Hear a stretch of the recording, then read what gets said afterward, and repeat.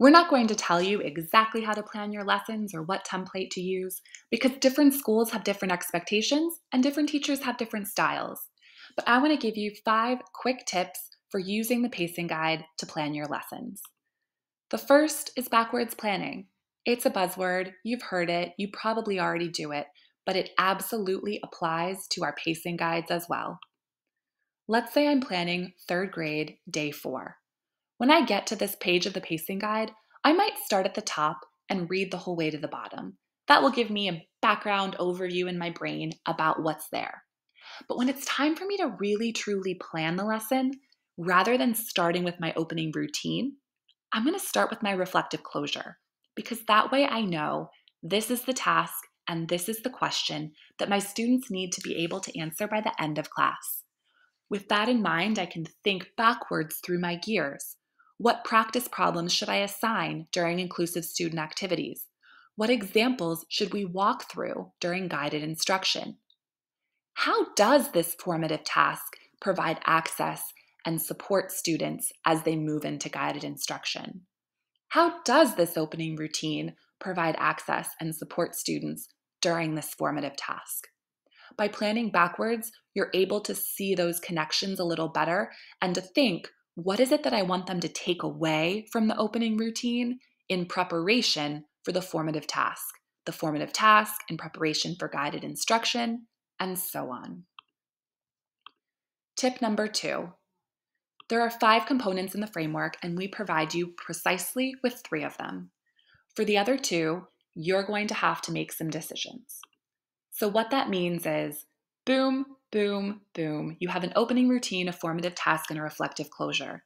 But for guided instruction and inclusive student activities, we want you to make decisions based on your students.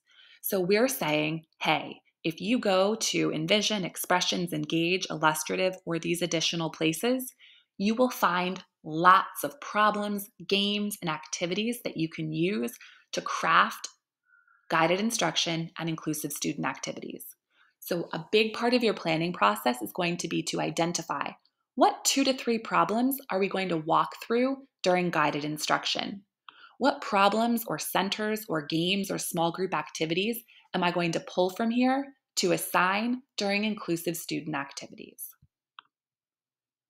That's a big part of your planning process. Step three, we recommend, because that number two might be overwhelming, that you start with expressions and envision. Those are the two programs you are most familiar with. That's what you have consumables for. So if you're overwhelmed and this looks like so much, start with your program. Once you have more time and you're able to explore more, you may want to supplement with Engage, Illustrative, which are both free online, or these additional things.